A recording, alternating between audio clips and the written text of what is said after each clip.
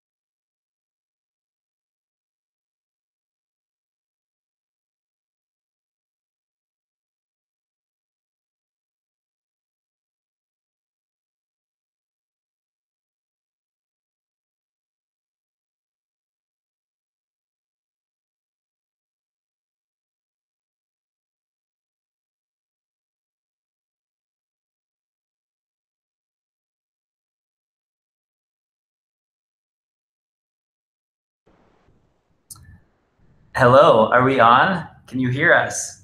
Give us give us some feedback in chat if you can hear us.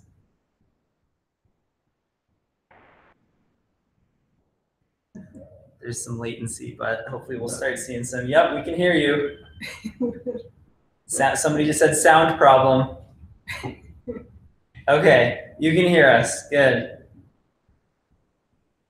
Okay, awesome. We're on. We're on. Hello, everybody, and welcome to the AMA with myself. I'm Mick, founder and CEO, Sarah Wiley, VP of Engineering, and Neil Bly, VP of Products. We're excited to be here. We just launched the Mainframe OS Developer Edition yesterday. And so we're here to talk about that, answer any questions that you might have related to that, We'll share a little bit about the roadmap, what's to come. We've got the big public release early April for end users and for the general public. And so we're here to engage with our community and, and discuss some important topics. Where do we begin? Uh, let's talk a little bit about Mainframe OS and uh, what it is and what people can do with it today and what they should expect coming up soon. So what would you guys say are the key value propositions of mainframe OS? If we had to summarize it for the audience maybe who's not as familiar or hasn't been paying close attention to it, what would you all say is the, the key value propositions? So yeah, so at Mainframe we've always had uh, a few guiding principles. We've been pretty strong in promoting a future of decentralization. Uh, on top of that, we also believe that this future of decentralization needs to have it needs to be accessible to a wider user base than just what we currently see in this space. So we put design first, we put security first, privacy first, decentralization. These are pillars of the philosophy we have here at Mainframe. So today, with the new developers edition, we have collected, uh, we've abstracted some of the, the emerging technologies that are coming out as well as allowed a place for the developers to engage with their users for dApp discovery, um, to be able to have users show up with contacts, wallets, uh, identity, which is a complex uh, problem to solve in this space. And so we want with an easy click install that the users will have everything they need to engage with the developers' dApps,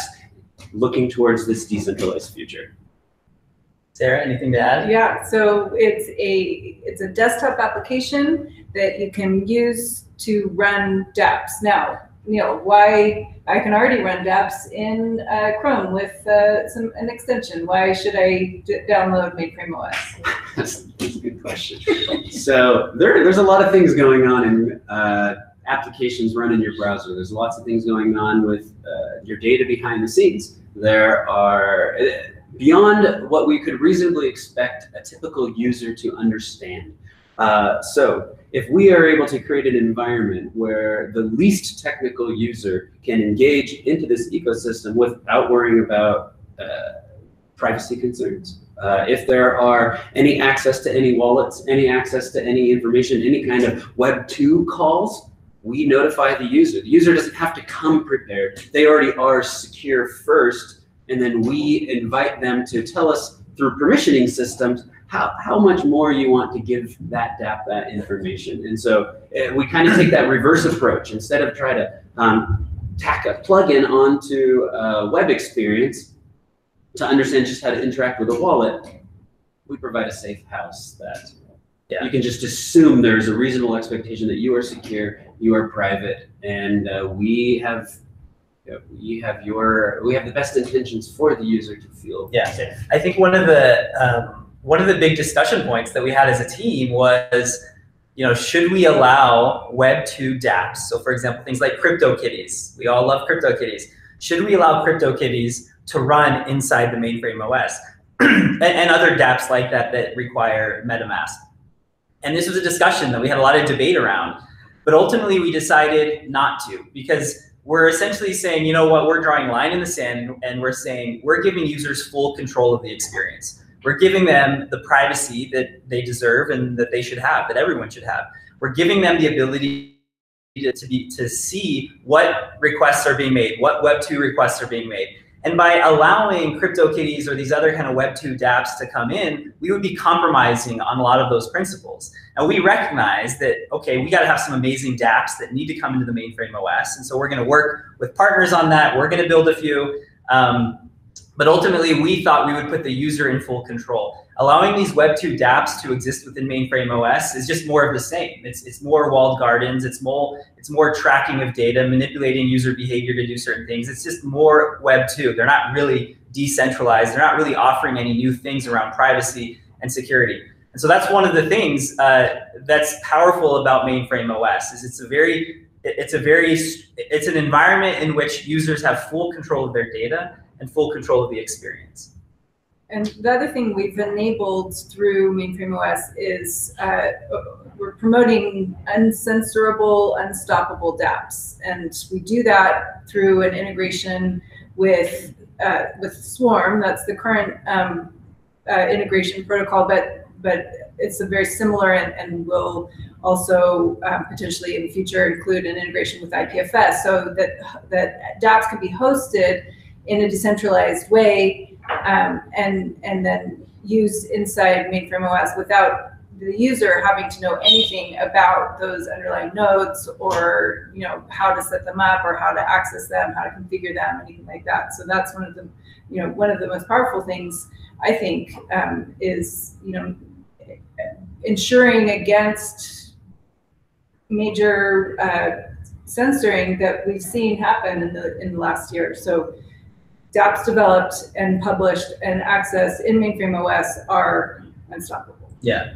I mean, that's one of the killer value propositions. Yeah, and and um, the, and, and building on top of mainframe leverages our engineering team to stay on top of all of these emerging technologies. So as as uh, we you know we work directly with the the Swarm team, we work. Uh, we're looking at all of these different options uh, and figure out ways to, to glue this together in a way that uh, you kind of we want to be able to future proof a developer wanting to come into this space. We want them to have the confidence that we are a partner with them in identifying the leading emerging technologies and stitching it in together so that they don't have to comb comb all the different developer websites and uh, kind of be inundated with too much knowledge. So it's a little it's it's daunting to enter this space as a developer. We want to lower that barrier of entry to invite all of all of the brain power, all of the cleverest yeah. developers who haven't jumped into this space. We, we, we want more people in this space and we want to make it easy to jump in. Yep.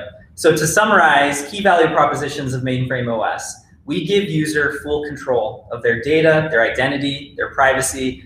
Uh, developers will not be able to uh, track or hack or censor or manipulate users in any way. And so there's kind of the privacy and security aspect, and then there's the unstoppable dApps aspect. So when dApps are deployed using the mainframe platform, these dApps are completely unstoppable. They can't be censored. They can't be taken down. That's compelling. And you know, we've seen countless examples of people not being able to communicate with messaging apps, people getting deplatformed uh, uh, on places like YouTube or Twitter, people getting demonetized.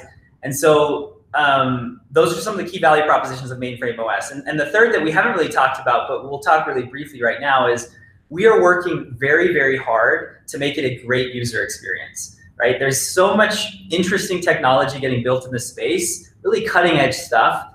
Um, we're just as thoughtful and as careful about the user experience as we are about the technology and as we are about some of these other things. So should we bring our first guest for our AMA yeah. to talk a little bit about user experience? Clément, uh, Clément Jaquier, our Swiss designer, uh, come join us as our first guest. Hi, everyone. Where do we begin? Yeah, so uh, yeah, uh, maybe Clément, you could just explain a little bit how the role of design has played into the mainframe story. Okay, great.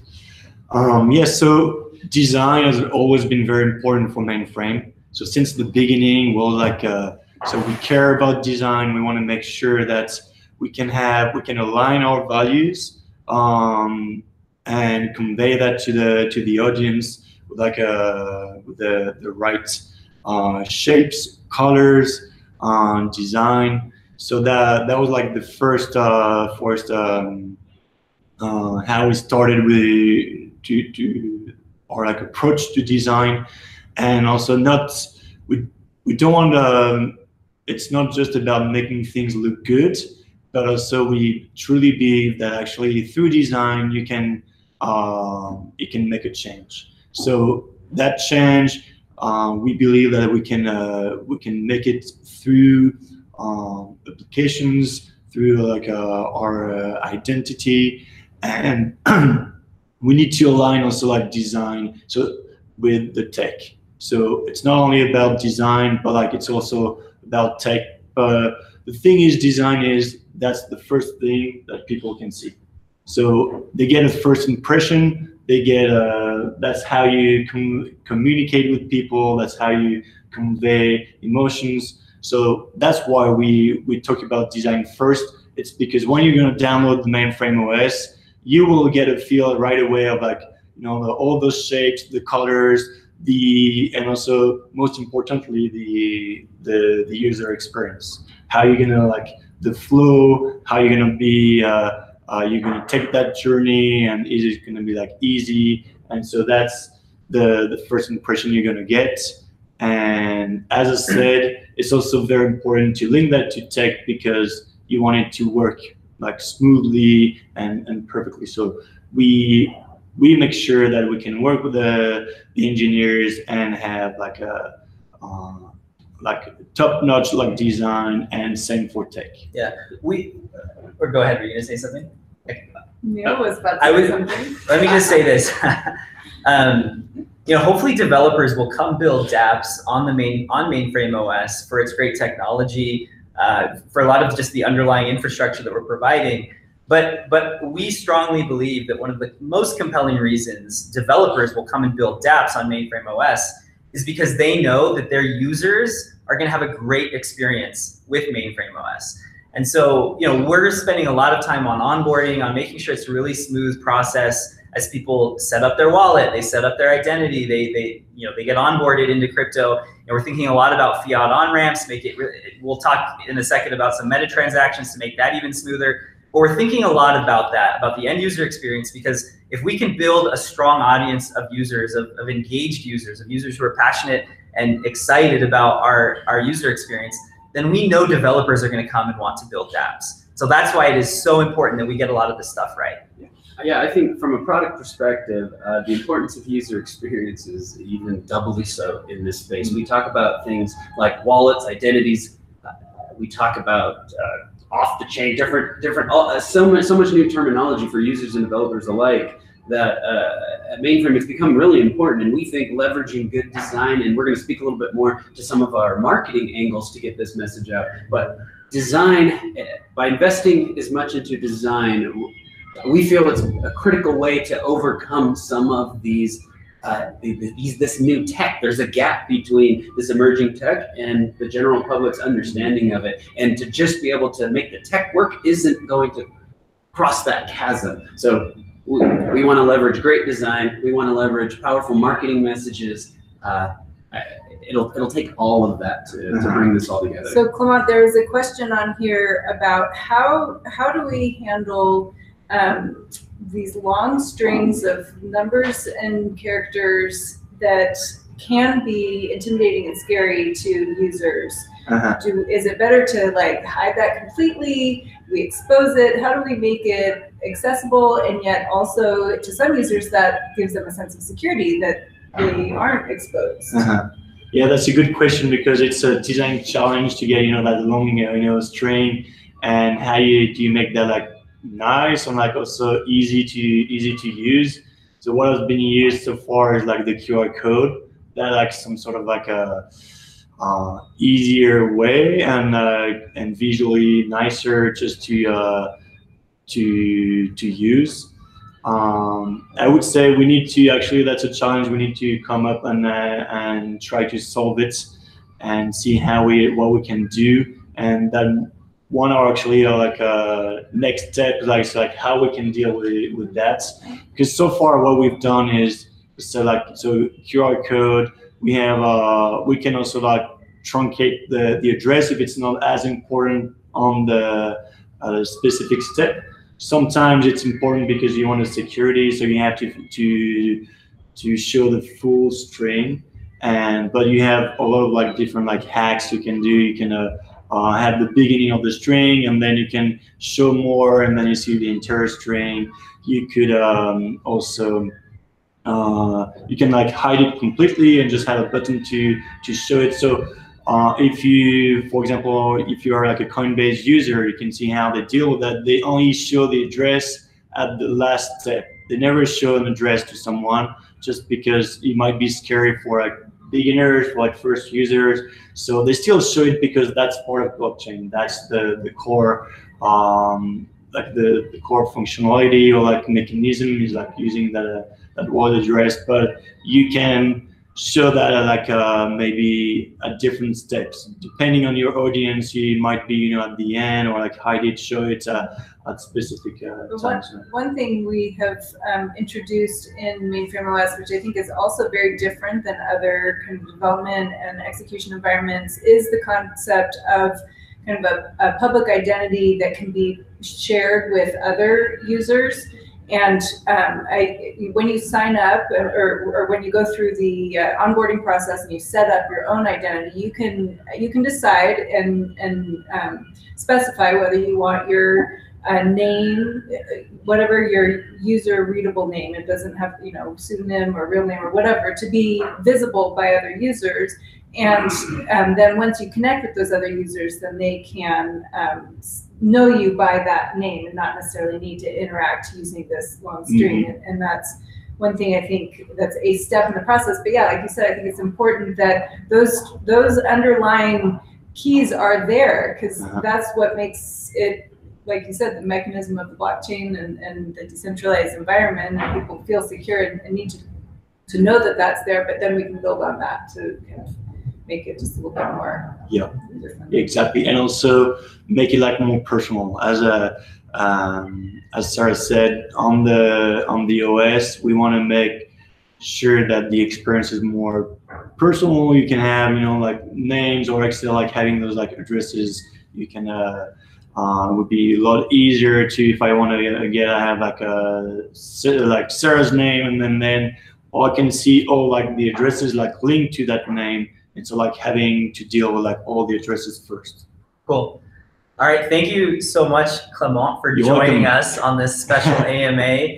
Uh, the one thing I will say, just to emphasize, we are 100% committed to making it easier for people to adopt crypto, to adopt decentralized technologies. We will continue to be focused on that. I mean, we know that the market for like users in crypto is still pretty small right now, and so we're going to continue to explore ways and products and features and ideas in which we can bring more adoption and, and more onboarding into kind of Web3. Yeah. And Clement is, is playing a very big part of that. Mhm. So- And that's the next step. We're gonna work hard on that, making sure that we can uh, you like uh, show that tech to most people. Like there are plenty of people that are, like don't know how to use that uh, that technology, and we'll we'll do uh, we'll work on that to make sure it's accessible to to uh, like a broader audience. Where uh, before you leave, where's Julia? I want to introduce Julia to. Oh, audience. she was there because I was worried like she she would bark, you know. But, but I can bring her. Okay, maybe uh, later. Maybe Later. Uh, li- later, is just Julia have her appearance. yeah, Julia appearance. So Julia is Clement's beautiful lion or dog, but she's kind of hangs out at the office. All right. Uh, I thanks Clement for joining You're us. welcome. Thank you. Um, since Clement's gone now, we can say that he's the best designer in the world, and we're lucky to have him. Yes, indeed. And he's built a great team. So, Exactly. um, Should we? A lot of questions on the chat are around MFT and how MFT fits into probably this. talk about that. Let's talk about that. That's pretty important. Um, should we bring our next guest to help us shed some more light on it? You'll be very. So Doug Leonard, the, the star of, well, one of the stars of Dawn of the Daps. Uh, this is Yeah. Doug. He has his own lemon uh, lemonade stand and lemon coin. I think he's also the star of our our uh, launch video that just went out yesterday. That's true. Yeah, the price of crypto was tanking though, so it wasn't my best performance. Is this is is all of this is this getting to your head, Doug? Like being the star of, of so many of these videos? Absolutely. It is. Yeah.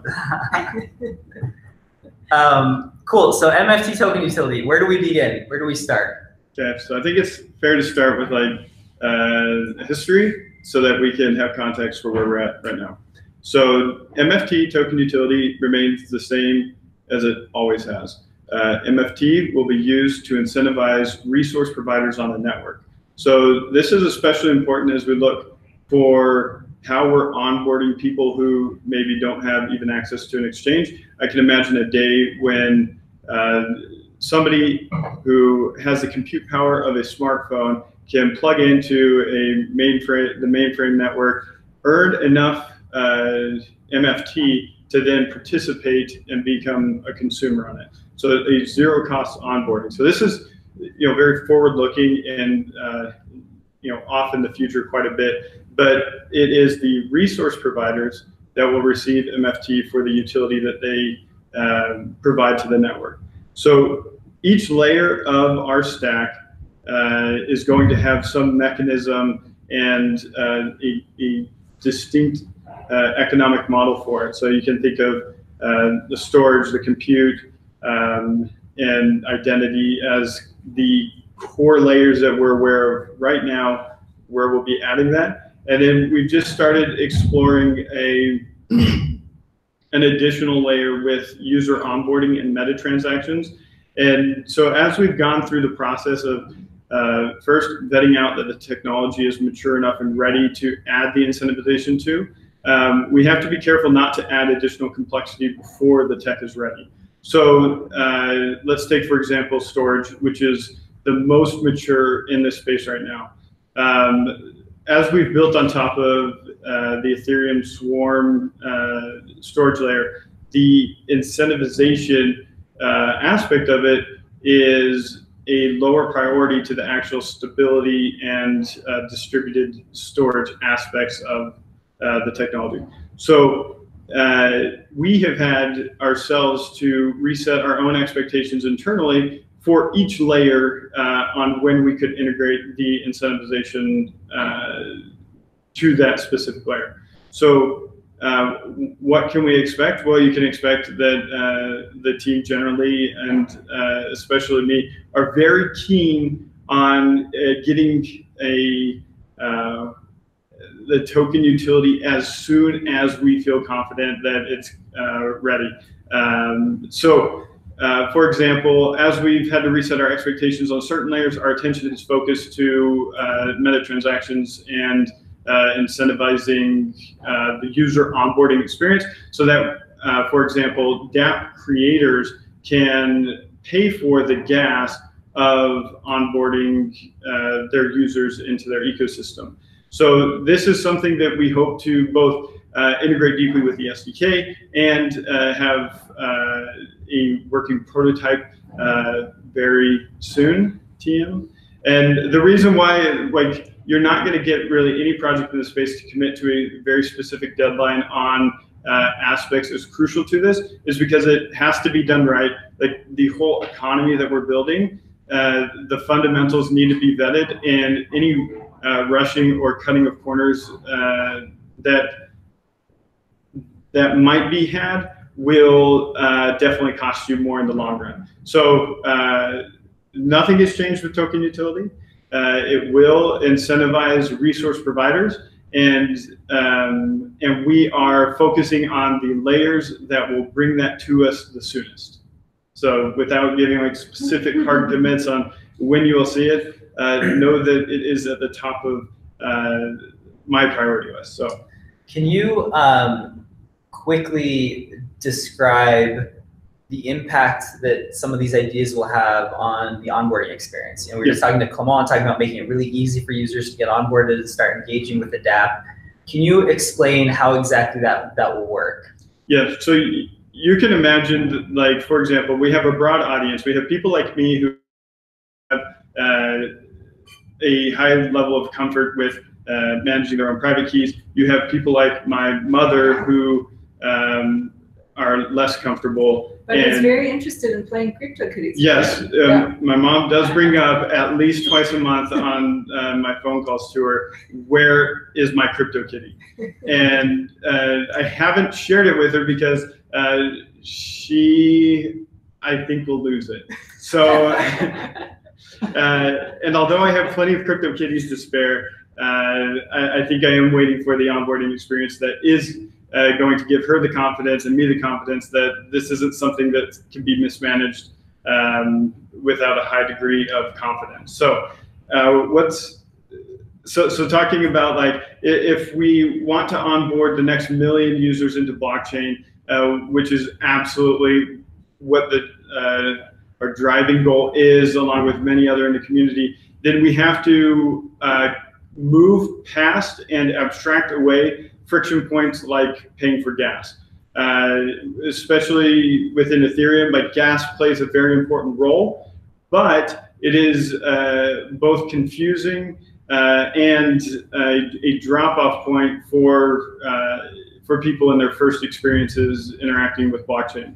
So uh, anybody who um, so so there are a couple of projects where I can point to that uh, are sort of on the front uh, of this. So if you look at uh, Cryptogs, which is uh, playing Pogs on the uh, Ethereum blockchain, it was a project by Austin Griffith that was born out of ETH Denver last year. At this point, you can go on and he leverages these meta transactions, which enables the uh, developer to wrap a transaction on behalf of a user who doesn't have any uh, Ethereum and enables them to start transacting with your dApp immediately. So this is a, an experience that gets you closer to um, what most people are familiar with within their mobile apps, in-app purchases, etc.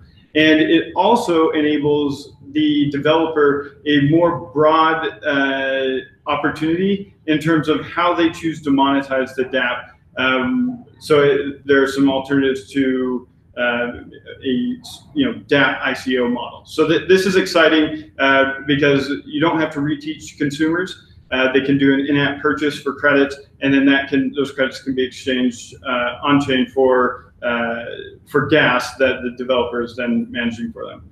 So uh, everybody went in terms of we have new users on the blockchain. We have additional utility that can be had for them, and and then they don't necessarily have to wait for like a KYC process uh, to occur um, on a traditional exchange. Cool. There was there was one question in I think it was in on Twitter uh, yesterday. That the person couldn't be here with us today, so he, asked a few questions. One question that he asked was, why did we need uh, MFT? Why do we need our own token? Yeah. So this is a, a very important question. So Mainframe's vision expands beyond just Ethereum uh, itself, and, and, it is much, much broader. It is like we want to push forward uh, blockchain as a technology, uh, decentralization, privacy. So these are big, uh, ambitious uh, goals that that we need a first class citizen that can jump between ecosystems, that can leverage the different protocols and, uh, and make it easier for the developers who are trying to build and leverage uh, new technologies as they um, emerge. Uh, you, you can now leverage something that you've become familiar with. So uh, one example, you know, the easy example here is uh, today we're on Ethereum. We, we have uh, previously announced intentions to integrate with other block, blockchains, Tezos being one of those. And so if you want to take advantage of a unique property on both Ethereum and Tezos, or if you potentially you wanted to port something like uh, your ERC 721 collectibles like CryptoKitties to then uh, to do more of a real-time game on a blockchain that has uh, smaller or uh, shorter transaction times, then uh, you can bring those assets over and MFT can help uh, manage the bridge and the economics of that bridge. So a uh, uh, quick example of where we're, we're seeing this type of technology is in the POA network's uh, hard spoon of Ethereum that uses DAI as their uh, native asset. There is a bridge between DAI and what, what they call XDAI, um, which is the native asset on the sidechain, which has five second blockchains or five second block times. And uh, it enabled a more, uh, a more consumer friendly version. At ETH Denver, we were paying for all of our meals on the XDAI chain, but the vendors at the end of the event were able to cash out into uh, air quotes real DAI, uh, which they could then exchange for money on the open market. So uh, this is an example uh, of, of a bridge mechanism that uh, MFT will, as a first class citizen, enable dApps that build on our platform to extend themselves into uh, emerging technologies as we make them available through our SDK. Yeah. Another thing that I always like to talk about when, when people ask this question of why do we need our own token, uh, I think from a technical uh, perspective, Doug has, has nailed it. Um, but I think from a game theory and economics perspective, the reason why we need our own token is we need a token that is directly uh, and, and, intrinsically correlated and connected to our network, to our community. Because some people say, well, why don't you just use BTC or why don't you use ETH?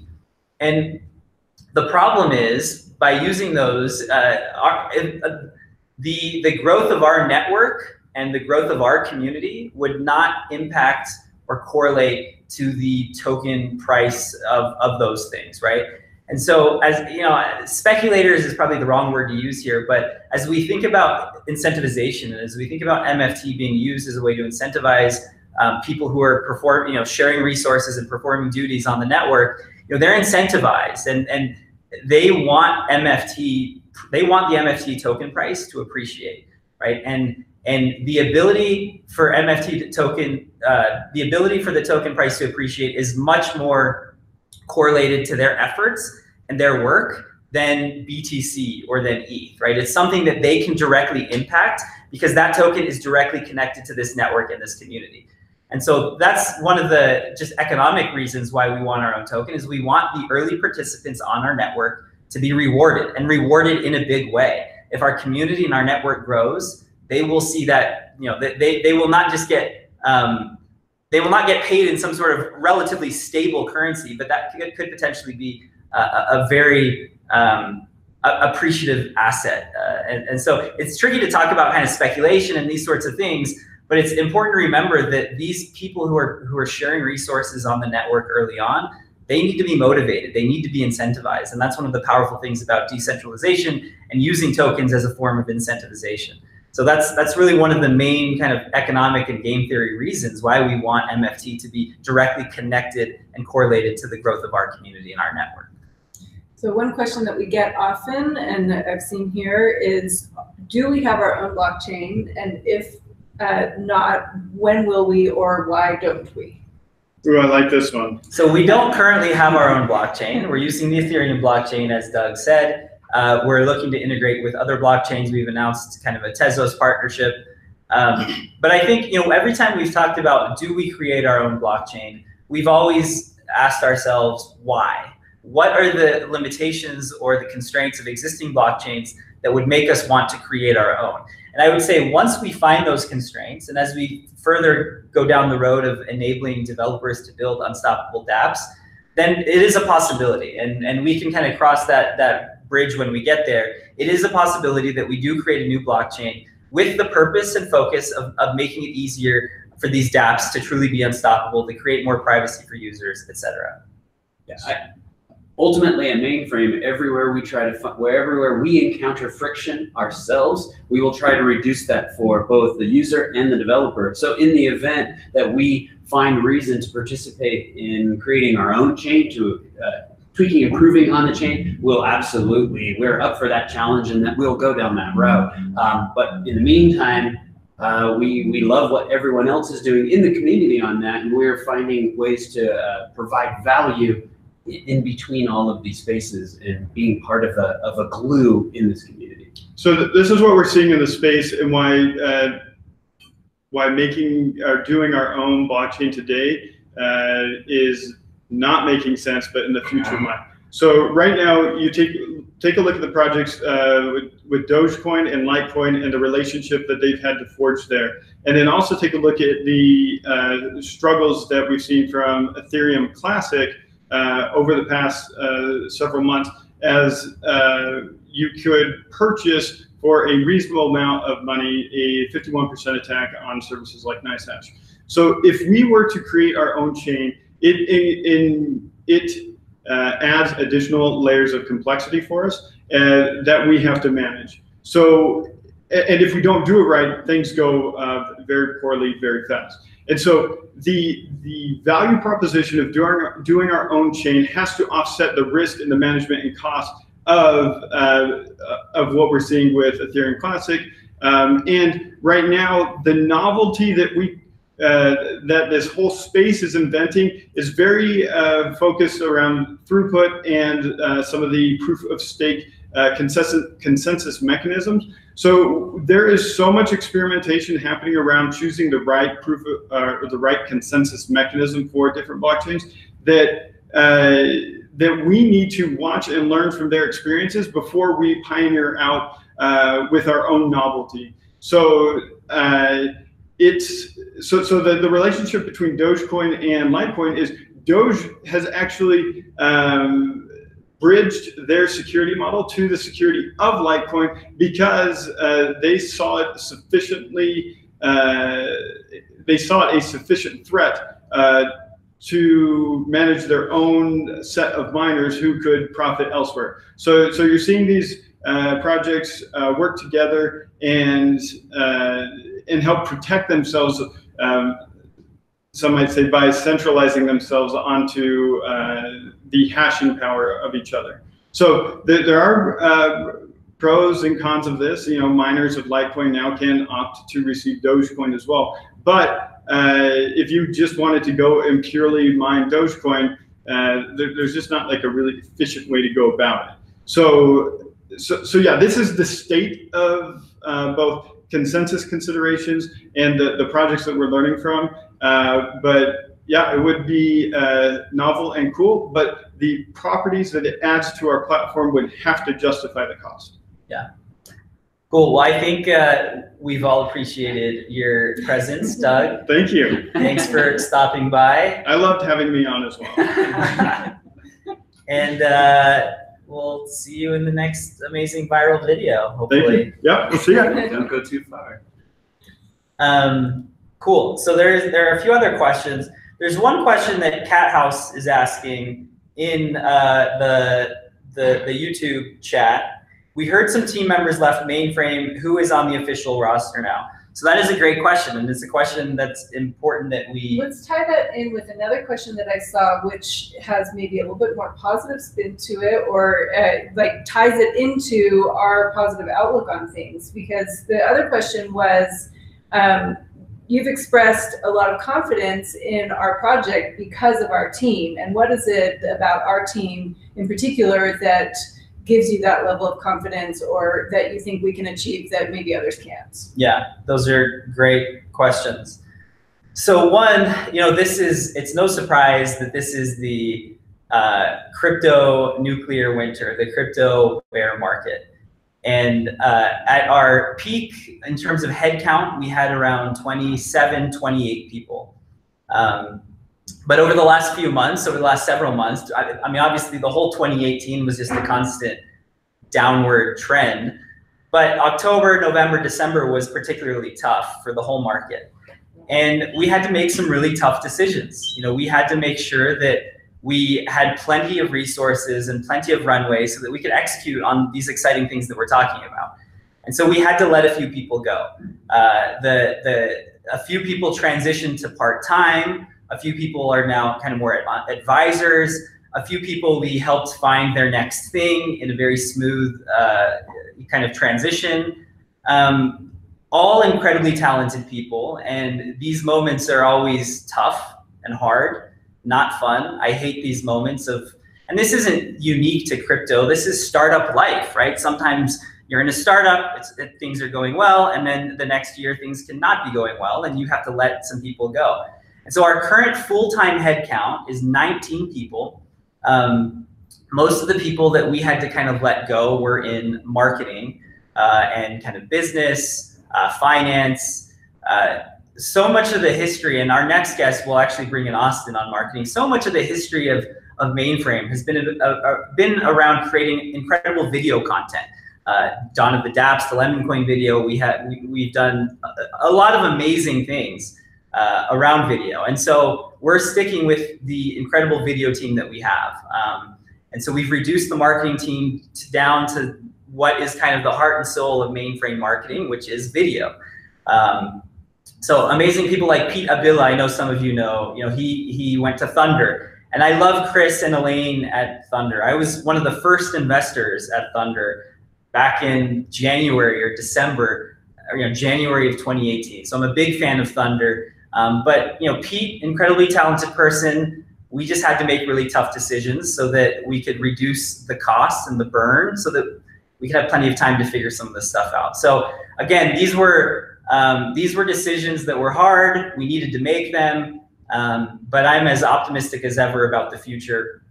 And yeah, to Sarah's point, we have an incredible team here. You know, Sarah VP of engineering, had super organized and just execution focused. And I think the team loves you, Sarah. No, no, um, it's bad that I asked that question. and and and Neil, incredible product mind, uh, very technical. So he and and for this type of product, mainframe OS, it, it requires somebody who's a lot more technical.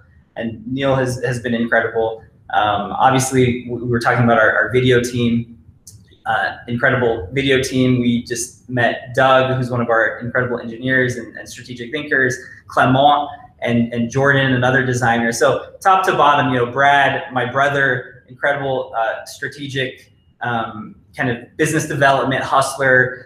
The, the team is just stacked with incredible people still.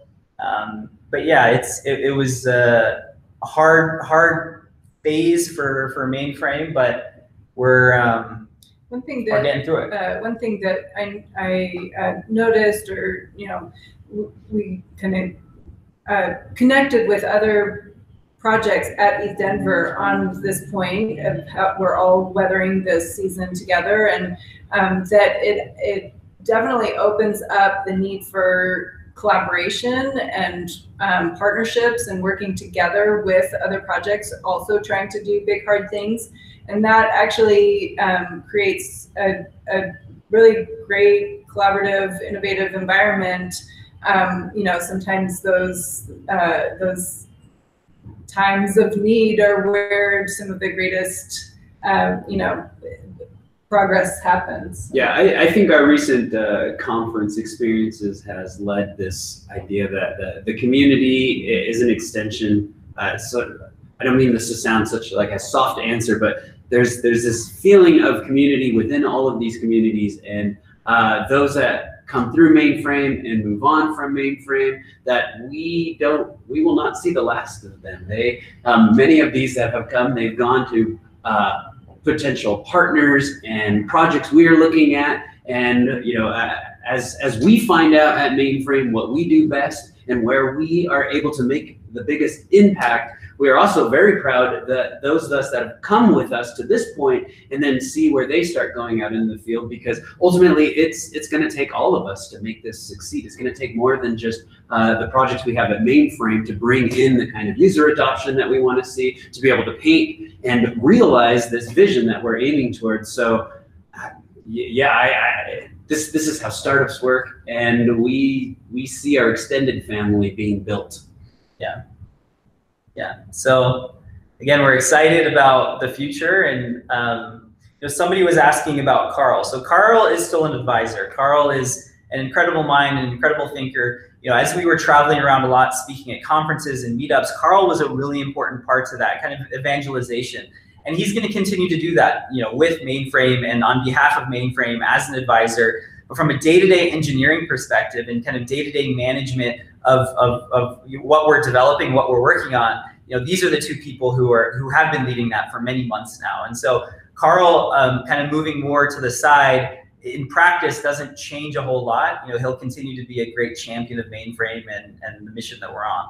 So somebody asked about Carl, so that's Carl. And then Kaylin, you know, Kaylin Sharp is one of my close friends for many, many years. You know, we worked on a startup, you know, six years ago together uh, great friend, and he's he, he he's an entrepreneur, successful entrepreneur, sold a company for twenty million dollars. And so I convinced him to, hey, like we don't have anybody leading product right now. Can you just come over for as long as you want?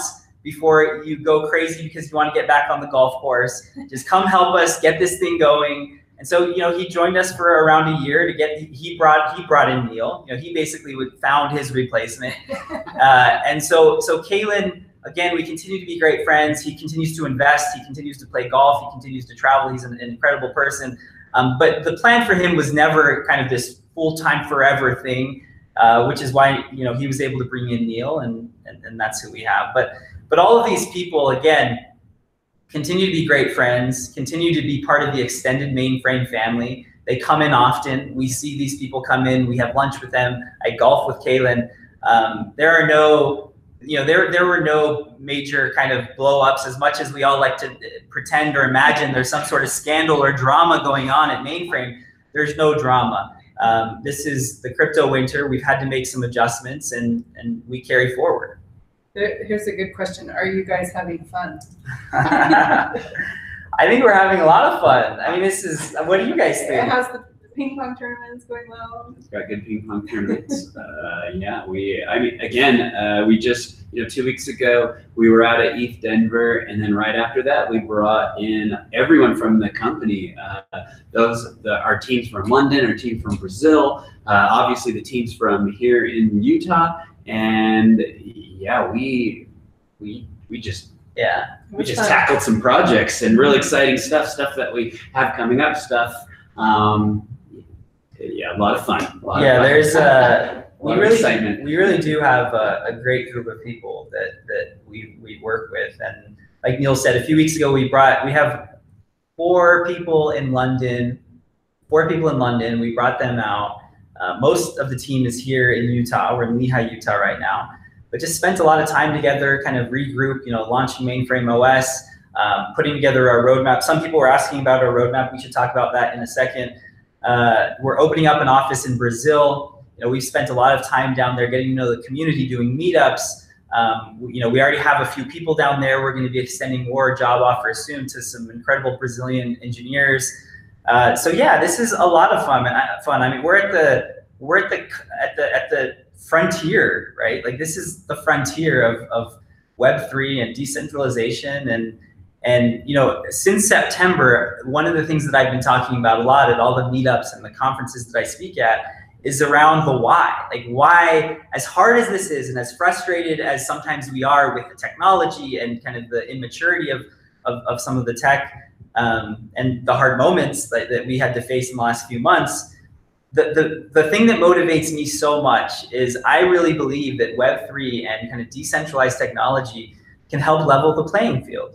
Uh, you know, talent and, and brilliance is evenly distributed, but opportunity is not. And Web3 essentially can allow people all over the world to participate in this global economy, this global marketplace, without governments or bureaucracy or corruption or middlemen to tell them they can't, that, that they can't participate.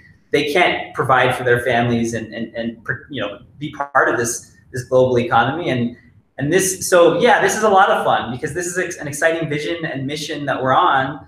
Um, and I have fun every day doing it. I think, you know, sometimes my wife will ask like, you know, like, why are you so stressed out?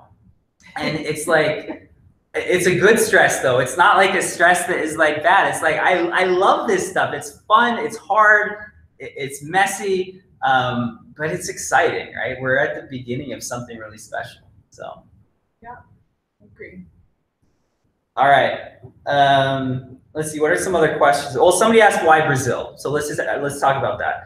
So I lived in Brazil for a couple of years. Uh, we've got an incredible developer already from Brazil and was living there named Gioco, a kind of front end developer. We've got an incredible hustler. Her name's Babi. She's based there. Carl and Kaylin uh, also speak Portuguese. So we have history living in Brazil, working with Brazilian developers. Um, and, and the other thing about South America, just more generally, is cryptocurrency is is is just on the rise, and and there are a lot of people there who just are losing, like everywhere in the world, but especially in, in South America, they're losing trust in their, their governments. They're losing a lot of trust in, in their leaders. Uh, not they're losing trust in their financial institutions. There's just a, there's just a lack of trust that continues to grow there, similar all over the world, but especially there. You see places like Venezuela with hyperinflation, uh, you know, Argentina recently having hyperinflation. You have a lot of people there who are who are kind of hacker mentality, meaning the they don't have a lot of the infrastructure to uh, to enable success and growth in the economy, but they're hackers and they just try to figure out a way to do it. And so you combine kind of the macro uh, political climate, government kind of situation with just the mentality they have of trying to take destiny into their own hands.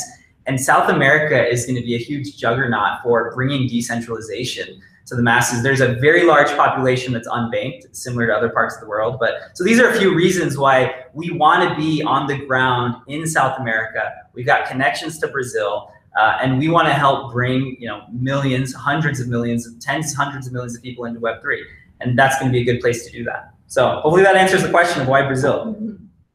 Should we talk a little about the roadmap? Let's do it. Where are things going from here?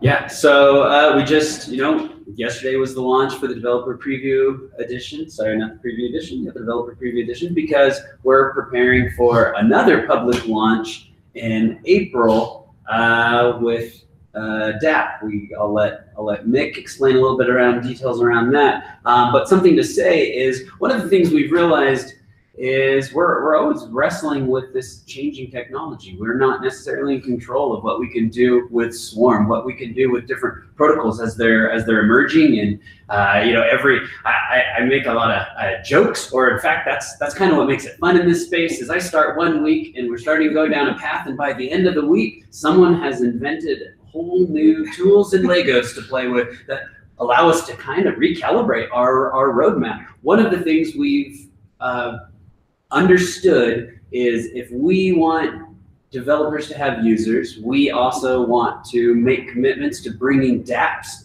that users want to build. So one of the bigger conversation changes around this office is how do we participate and, and, and beyond just the infrastructure that we're still committed to, we posted an updated roadmap uh, a couple of weeks ago preparing for our ETH Denver visit. And we will continue to update that one to keep that dynamic. But we're shifting now, shifting some of our resources internally to do what we're asking everyone else to do, and we're gonna we're gonna touch on that a little bit too uh, about uh, how we want to extend the, the our bounties. But we we understand that to get users, we need awesome dApps. Yeah, that is a good segue into um, one of the things we wanted to promote today and with this launch is um, that we've extended our, our bounty challenges that we kind of started when we went to ETH Denver. Um, and we are offering money, real money, for um, dApps built in mainframe OS um, that meet certain criteria. And uh, we're looking for dApps that make a social impact. We're looking for dApps that are beautiful and have a great user experience. And we're looking for dApps that leverage our SDK and what we have to offer to be as unstoppable as possible. Um, and uh, so we would love any participants to come meet us on our Gitter channel which you can get to from community.mainframe.com.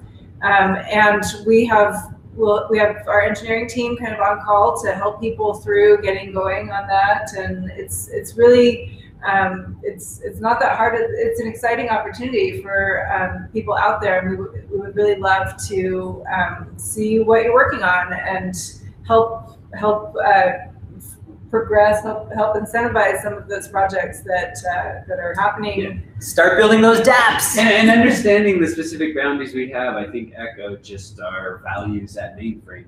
Uh, good design. Good design is the answer to bring in users. Uh, obviously, the SDK, the use of the SDK, uh, being able to navigate these emerging technologies that we talked about. And then also, very importantly, this plays into uh, Mick's comments and love for South America. And the opportunity in South America is the social impact this technology can have. So social impact is always something that is uh, front and center in what we do at Mainframe and why we do it and what pushes us to do some of these, uh, you know, it, watching this, you're probably thinking some of these things are pretty ambitious, but well, we have reasons for that. I think, I think we feel it as a team and we have that excitement and there are reasons we're trying to do these ambitious things.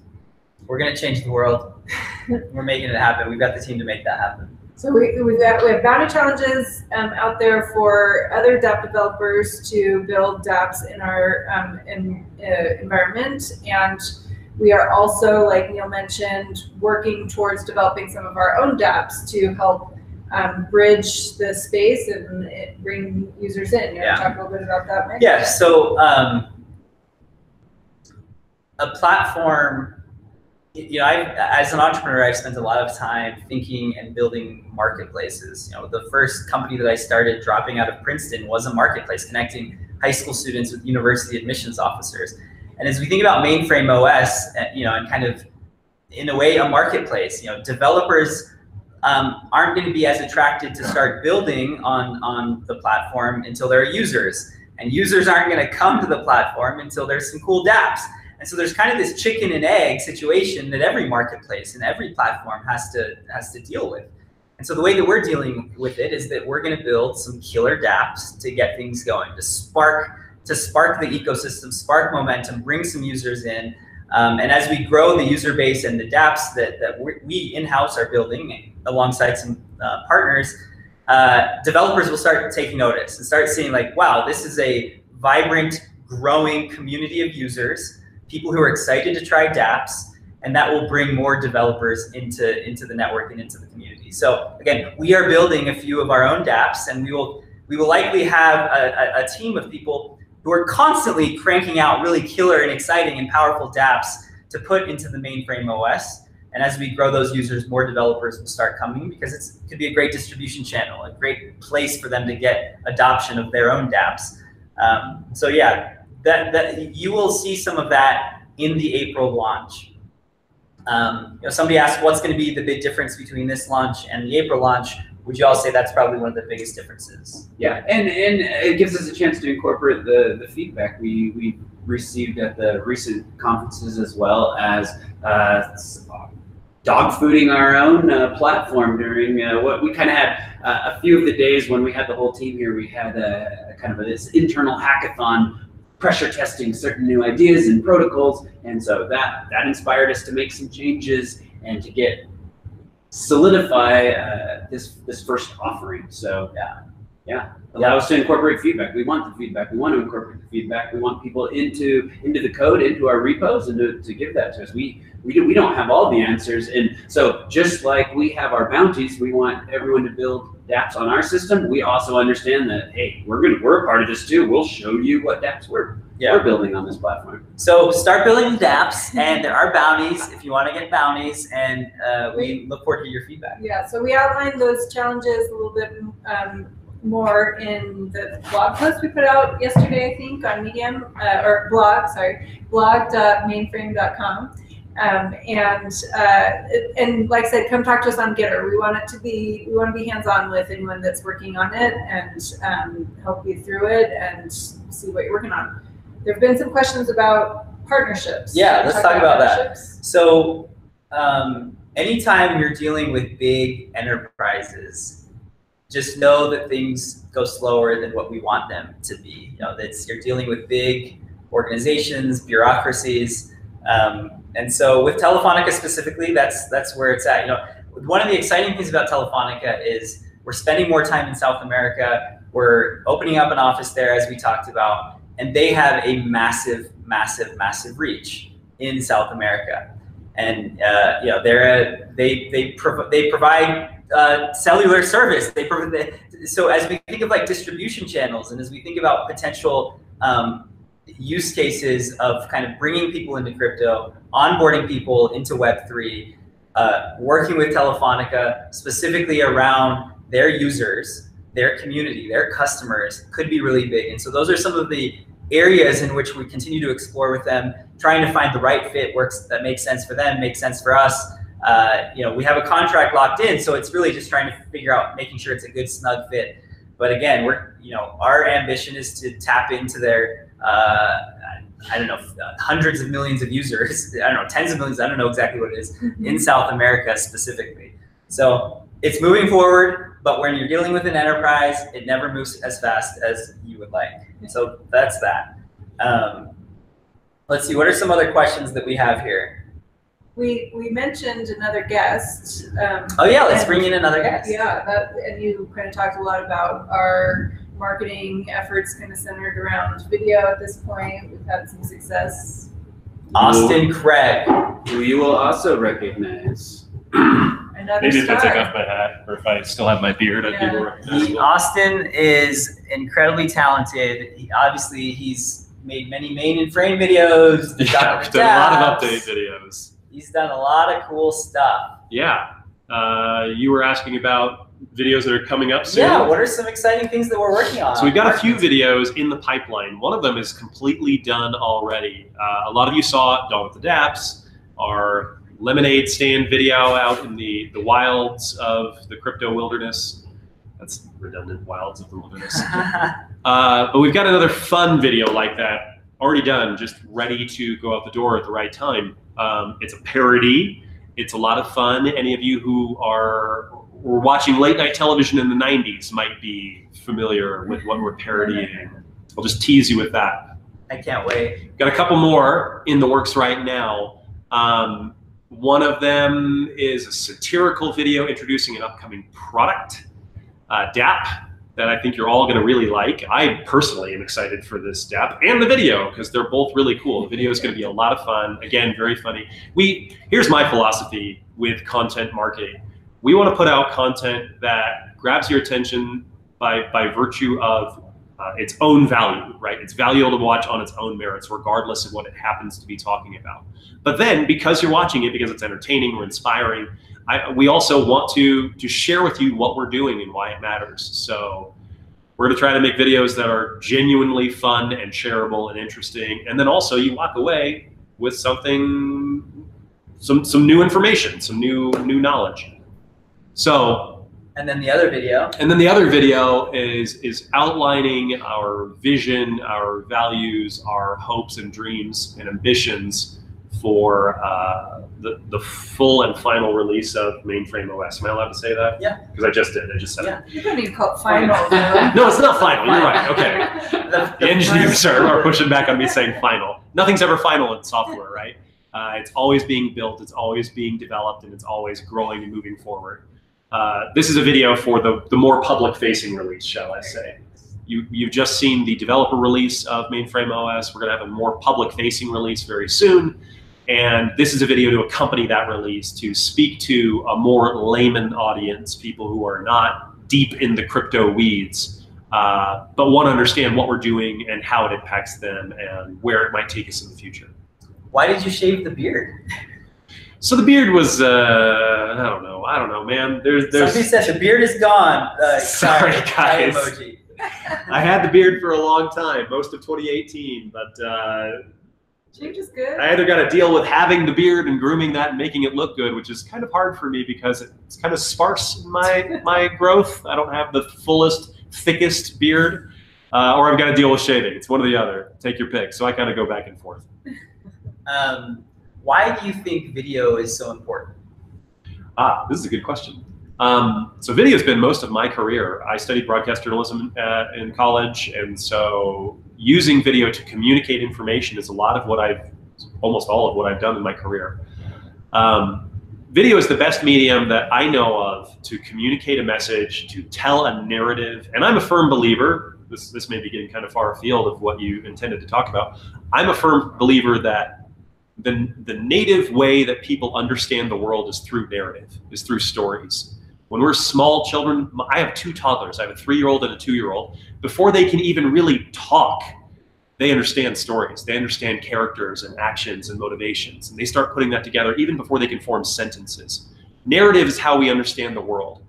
And I think video does an incredible job of quickly and succinctly and effectively communicating a narrative, communicating here's the story of what happened in a way that people can internalize, understand, appreciate, remember, and, and act upon. Ultimately, we want people to, to not just take this information in, we want them to do something with it. We want them to incorporate it into their lives, start using it.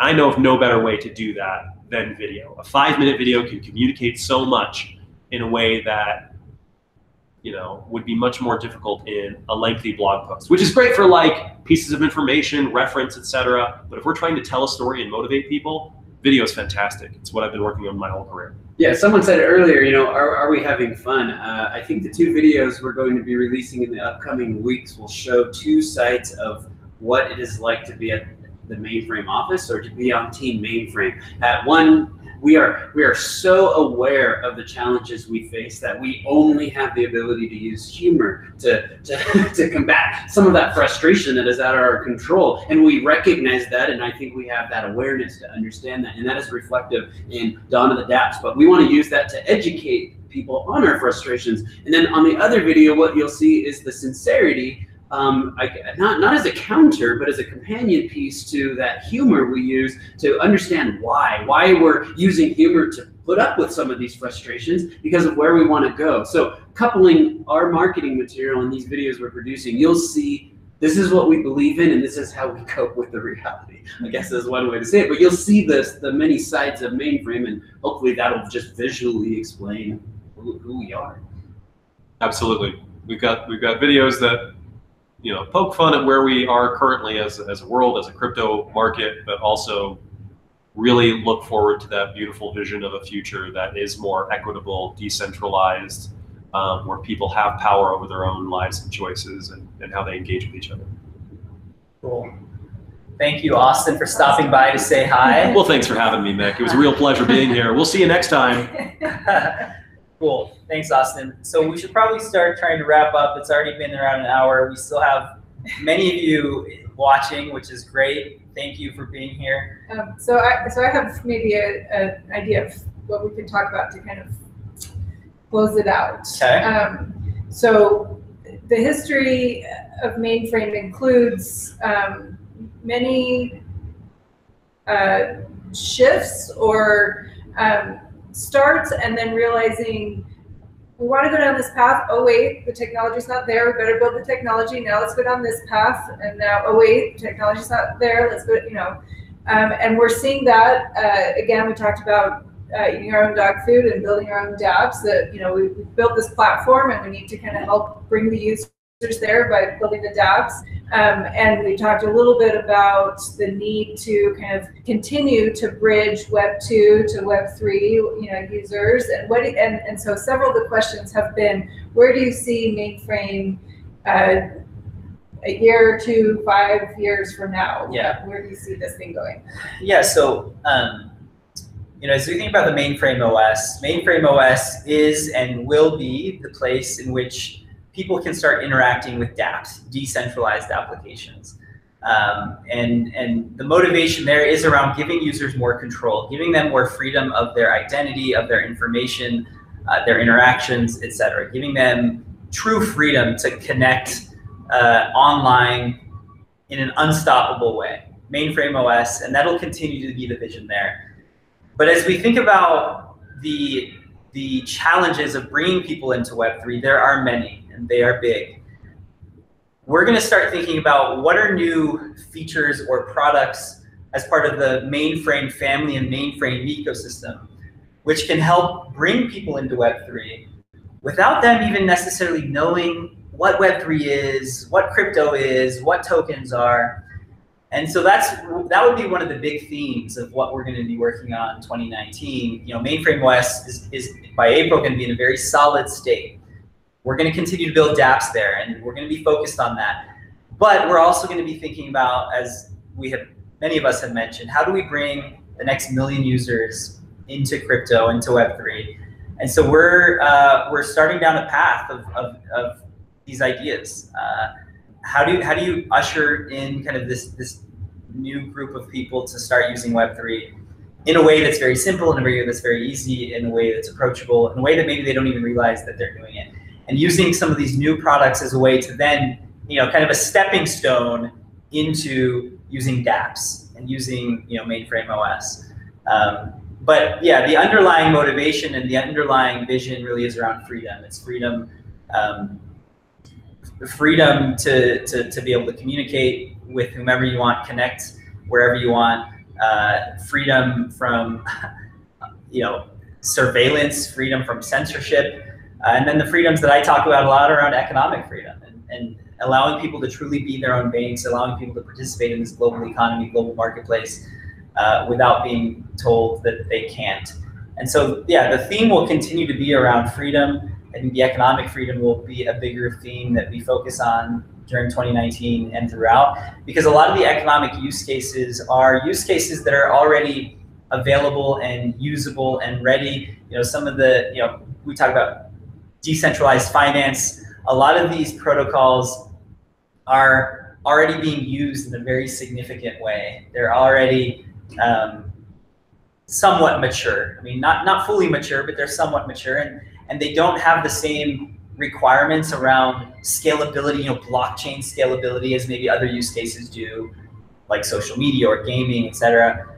And, uh, and so, yeah, I think the economic freedom, financial freedom, the types of dApps that we'll be introducing, the types of products that we'll be introducing for non-crypto people are going to be kind of in this in this arena, in this general area. So, any thoughts or ideas around that? That was fantastic. Sounds exciting. I'd like to. So people are. Um, so yeah, hopefully you all enjoyed this. We should do it more often. We should uh, not wait until some big launch to do this, but we should probably do this more often. Thank you all for participating. It's been great to see all your questions. Sorry if we missed a few questions, but we'll try to do this more make often. Up, make it up to them. Julia, We come. have one little last uh, Yeah. guest. We have one last guest here, the lion, the mainframe lion. Um, this is the mainframe lion, Julia. Julia, Oh. thanks for being on the show. Um, she is Clement's beautiful Chow Chow. Is that the breed? Yeah, Chow Chow. Chow Chow.